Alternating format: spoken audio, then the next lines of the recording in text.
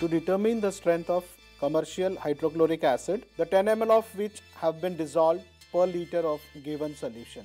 Apparatus required burette, pipette, conical flask, funnel, chemicals required sodium carbonate solution, hydrochloric acid solution, methyl orange indicator.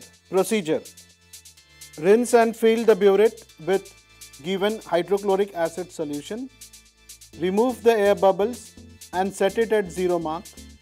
Pipette out 10 ml of standard sodium carbonate solution into the titration flask and add 2 to 3 drops of methyl orange indicator.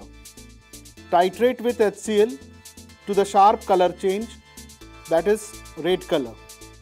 Repeat the titration with every 10 ml of sodium carbonate solution until concordant readings are obtained.